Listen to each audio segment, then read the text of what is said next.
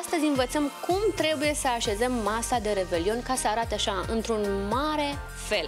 Și cine putea să ne învețe acest lucru dacă nu? Doamna Monica Tatoiu. Trebuie să fie corectă, trebuie Eu să nu fie frumoasă. sunt deținătoarea tuturor Nu. adevărurilor și nu o să Dumneavoastră prezint știți că vremea pe toate. niciodată, deși că ăștia zic că numai vremea n-am prezentat. Da. Deci, atenție. Cât de frumos Ce arată este totul important? aici. Da. E vorba. De ce ne întâlnim în noaptea dintre ani? Ca să nu fim singuri. Ca să mâncăm, să ne distrăm. Mâncăm de dimineața Dar nu prea până mult. seara Da. și în timpul anului. Nu. Masa... Ma, e, e, trecem în anul următor împreună. Împreună schimbăm idei, sentimente. Masa nu trebuie să fie perfectă, nu trebuie să fie scumpă. Tot ce punem pe scump, tot ce... Trebuie să fie armonie.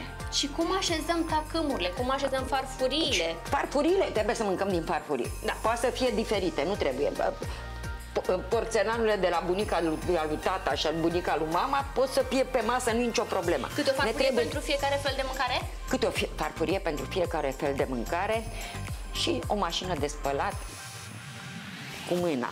Sau o gospodină care să spele la final vreo 20 Toată de lumea trebuie să farfurii. participe. Uitați Da. diferența. Farfuria pusă pe un platou, da? cu macrame și farfuria fără să fie. Diferența estetică perfectă. După care, Tacâmurile. tacâmurile.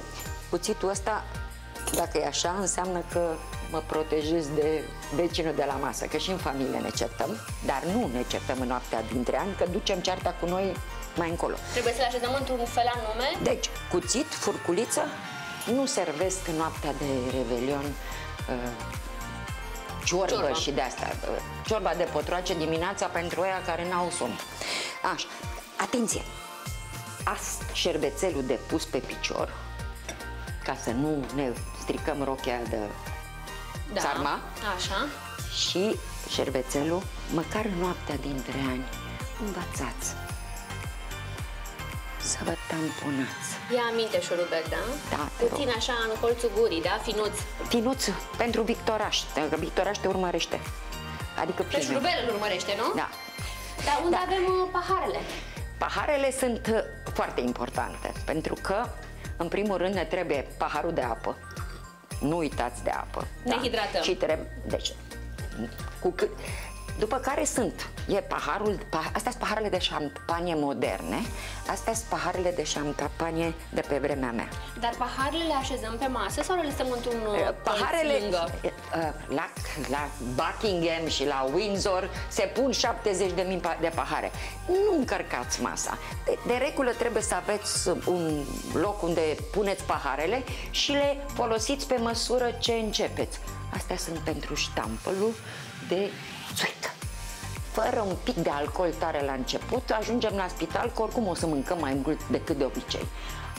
Astea sunt pahare de... Eu am început... Eu nu pot uh, să- fără șampanie de dimineața, de la 10. Păi mai avem un pic, o, o zi până la Revelion, Nu, da? dar eu tot am. Deci, pahar de vin alb, pahar de vin roșu. Ce sfat vă dau? Beți un singur fel de vin. Dacă le amestecați, le amestecați la rebelionul ăla pentru ăia, Așa. pe nasul pe sus. Și întorcându-ne la masă, mai văd uh, niște farfurii mici, niște suporturi. Deci, vinul roșu, eu, eu recomand vin roșu.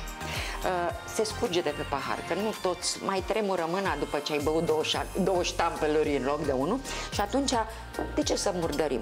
Iese foarte greu vinul roșu. Așezăm Și atunci, paharele aici. Astea. Deci, astea sunt uh, pentru alt. Deci, ideea este că nu trebuie să încărcăm masa cu mâncare, să încărcăm masa cu amintiri.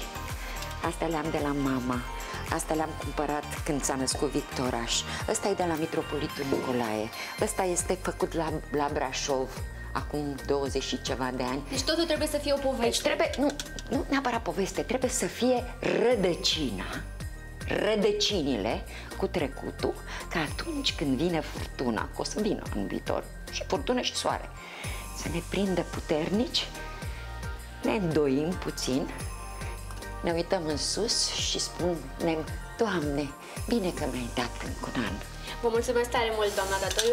Acesta să fie și ma- mesajul pentru anul viitor. Să avem un an bun. Va fi în a doua parte.